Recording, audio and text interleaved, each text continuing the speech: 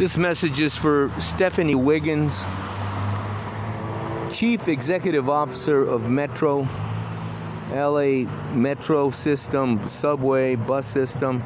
I'm at the Universal City, Studio City platform here. The subway's down below. And I want to show you, ma'am, if you haven't chucked your rear end out here, this is a pissing gallery here. You have no bathrooms whatsoever out in this area. I've complained about this for three years now. It smells like hell out here. Like kidneys, that's what it smells like. This wall here is a pissing wall. And in the summer, it really, it reeks like hell. I can't imagine that you can't work with the city council to put one of those portable toilets out here like they do in North Hollywood and over on downtown LA over at the Pershing Square uh, subway system. You have something there. You have something in North Hollywood. Why can't you do it here, man? You're just proving yourself to be another unqualified black woman who has no knowledge of anything, who's an ignoramus.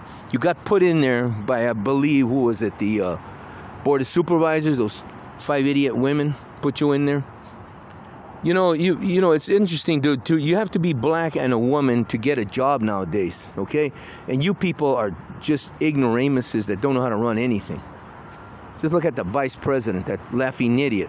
Just look at Shirley Weber, reparations for blacks. That's what she's concerned about. This is disgusting. And you have also Ketanji Brown Jackson as an associate justice, thanks because uh, Joe Biden says she's got to be a black American, a black woman to be in that seat, to be appointed to that position. Even though she's not qualified, just another Marxist.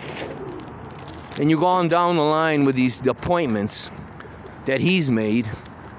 You have Kamala Harris, you have Brown in there, and I'm sure he's got others that he's appointed. And ma'am, I want you to move on this. I want a, a bathroom in this area here so that people won't have to be pissing against this wall. Bye.